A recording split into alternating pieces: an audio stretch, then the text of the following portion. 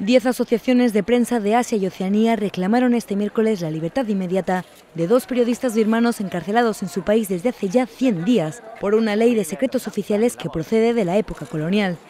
Los dos periodistas realizaban actividades normales del periodismo y no han cometido ningún delito. Deben ser retirados todos los cargos contra ellos, señalaron en un comunicado los clubes de prensa de Australia, Camboya, China, Hong Kong, Indonesia, Japón, Malasia, Singapur, Tailandia y Sudeste de Asia, además del comité editorial de la Sociedad de Editores de Asia. El Club de Corresponsales Extranjeros de Hong Kong entregó al Consulado de Birmania una petición con 42.000 firmas para que se ponga en libertad a Wallon y Kiao Soeo, ambos de la agencia internacional Reuters.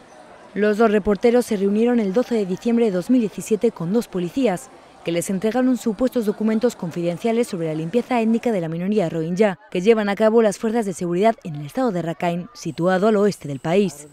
Alrededor de 688.000 miembros de esta etnia, mayoritariamente musulmana, han buscado refugio en Bangladesh desde el 25 de agosto pasado, cuando el ejército lanzó una campaña de castigo colectivo en respuesta al ataque por rebeldes rohingyas de una treintena de puestos militares y policiales en Rakhine.